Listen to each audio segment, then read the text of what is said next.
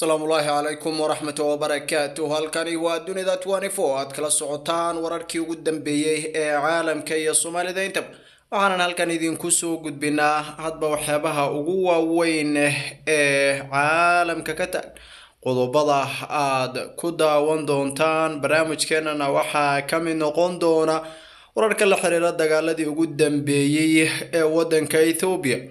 dhinacyada diblomaasiyadda iyo waxyaabaha ku soo kordhay. Waxaa kaleeto oo aan soo qaadan doonaa kulankii dhex maray taliyaasha ciidamada soomaaliya iyo eritrea iyadoo sidoo kaletana aan soo qaadi doono xayiraadaha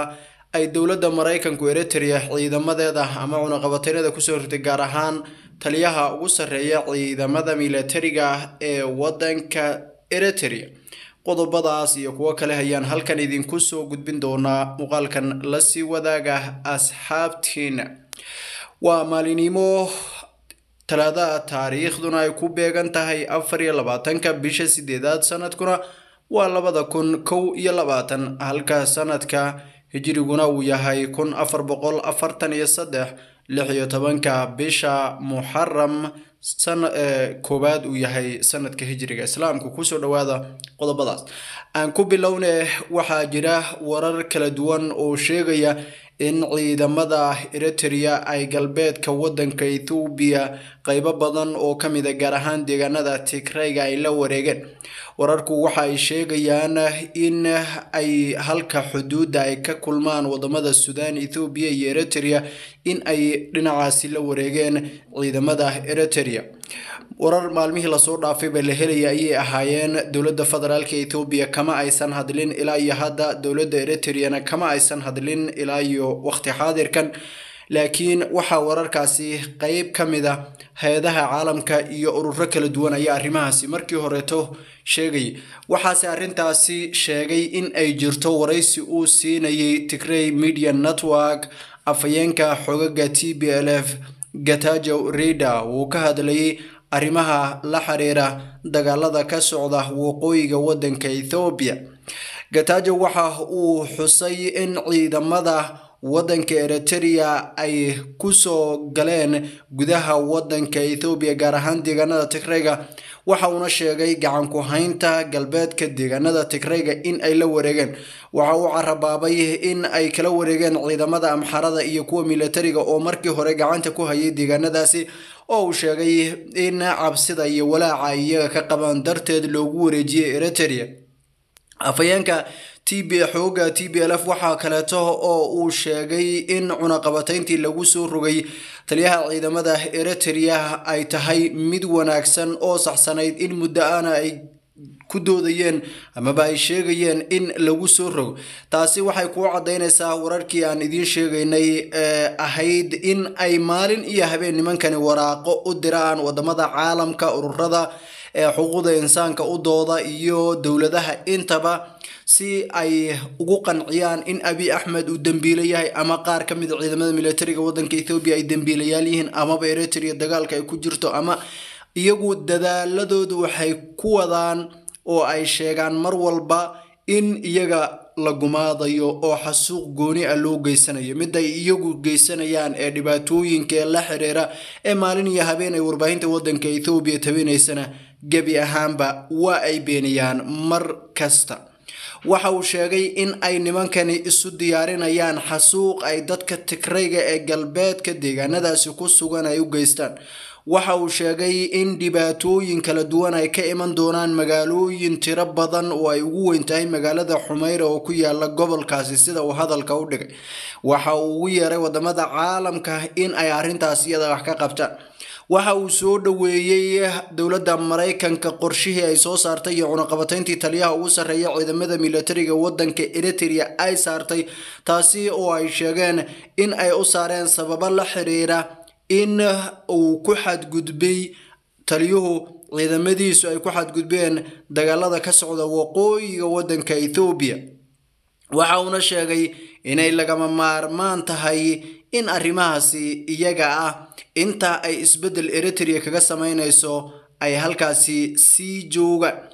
oo ay taliyaha iyo weliba saraakiisha kaleeto ee ciidamada eritreaba cunaqabatayn lagu soo rogi karo. Tani waxaa mid muujinaysa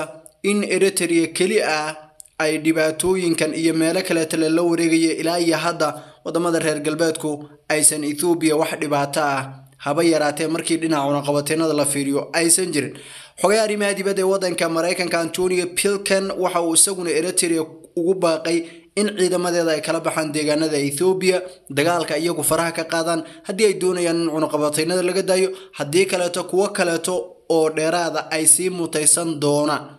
waxa uu sheegay inaysan marnaba u dulqaadan doonin waxyaabaha la xiriira dagaalada iyo dhibaatooyinka iyo tacadiyada kala duwan ee ka dhacaya wadanka ethoobiya cid kasta oo ku lug yeelatana in ay qeyb ka noqon doonto sida uu sheegay cunaqabateynada ay wadaan waa antonio pilkan xogaya arrimaha dibadda ee wadanka maraykanka dowladda maraykanku maalmihii la soo dhaafayba waxay dadku sheegayeen in ay jireen isbedelo la xiriira inay ka soo dabceen halkii hore oo ahayd keliya eedeynta ra'iisul wasaaraha wadanka ethoobiya abiy axmed iyo xukuumaddiisa balse xilligan ay garwaaqsadeen dhibaatada kaleeto iyo caqabadaha kaleeto ee kooxda t b f laftoodu ay ku hayaan deegaanada wadanka ethoobiya oo kii ay ugu baaqaysay samatha power ahayd inay isaga baxaan deegaanada aysan iyagu lahayn. Laakiin iyagiiba hadda soo cabanayo waxay leeyihiin annaga ayaaba deegaanana lagala wareegay oo nalaga haystaa waa sida ay hadalka iyagu dhigayaan wararka la xiriira dagaaladii ugu dambeeyey waqooyiga wadanka ethoobiya ciidamada dowladda federaalka ethoobiya iyo kuwa huwanta iskaashanaya ayaa lagu soo waramayaa in ay guulo waaweyn ka gaareen dagaalada ka socda gobolka koonfurta deegaanka amxaarada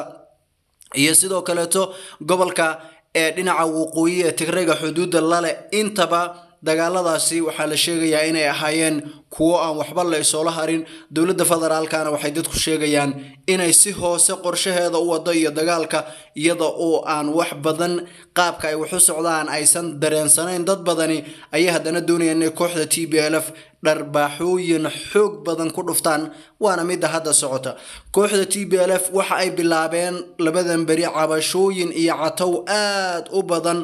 oo la xiriira dagaalada waxayna ku eedeynayaan dowladda federaalka iyo weliba deegaanada amxaarada iyo ciidamada dhammaantood warbaahintoodu in ay dhibaatooyin kala duwan iyo tacadiyo geysanayaan. Waxay sheegayaan in maamulka abiy axmed uu mar kaleta doonayo gumaadka t b l f. Waxay sheegayaan in aysan marnaba u dulqaadan doonin waxa uu maamulka abiy axmed wado. Cabashooyinkoodan faraha badan ee maalmahan warbaahinta ay la wadaagayaan waxaa loo arkaa in ay tahay cabsi soo gashay oo ah in dowladdu dagaaladan u dambeeyey ay ku qaadaysay ay dharbaaxooyin xoog badan ku noqdeen taasina ay ka keentay cabashada ay xilligan wadaan marka la fiiriyo guud ahaan xaaladda waddanka ethoobiya iyo dagaalada halkaasi ka xiriir. Inkasta oo qowmiyadda amxaarada iyaduna warbaahintooda wararka ay la wadaagayaan ay sheegayaan in xitaa qaar ka mid a mas'uuliyiintooda oo ka hadlaya arrintan iyo tviyadooda waxay sheegayaan kooxda t b l f inay maati soo gelinayaan inay dadka fal iyo sixir ay ku samaynayaan iyo waxyaabo la mid a ayay warbaahinta deegaanada amxaaradu ku andacoonaysaa. Dad badan ayaa arrintaasi la yaabay marka la fiiriyo guud ahaan xaaladda iyo waxyaabaha ay sheeganayaan iyo sida ay arrimahaasi suurtagalka ay ku yihiin guud ahaan marka la fiiriyo. Tan iyo kulanti dambe waa baahda dunida oo idinle sidaas iyo nabadgelyo